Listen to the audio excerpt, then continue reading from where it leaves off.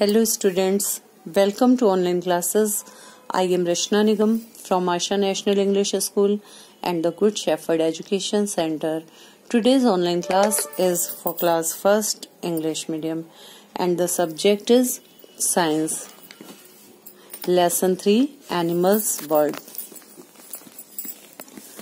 types of animals इसमें हम पढ़ेंगे कि एनिमल्स कितने प्रकार के होते हैं।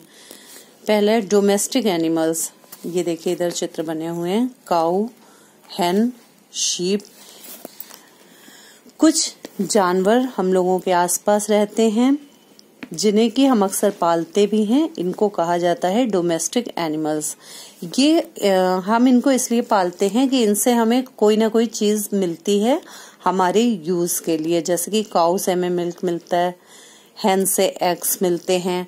शीप का भी बड़े स्तर पे शीप को लोग पालते हैं। इनसे ऊन मिलता है। हम इन लोगों को पालते हैं और इन्हें भोजन देते हैं, पानी देते हैं और इन्हें रहने के लिए जगह भी देते हैं।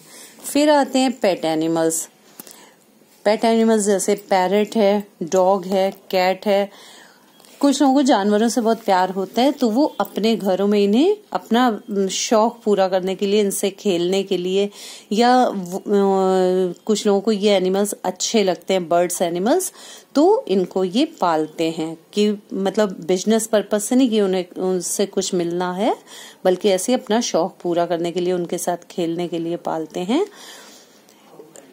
इनको पेट एनिमल्स कहा जाता है। हम इनसे बहुत प्यार करते हैं, ये हमारे बहुत अच्छे दोस्त होते हैं और हम लोगों को इनकी बहुत केयर करनी चाहिए। नेक्स्ट होते हैं वाइल्ड एनिमल्स कुछ जानवर जो कि जंगल में रहते हैं, उन्हें वाइल्ड एनिमल्स यानी जंगली जानवर कहा जाता है।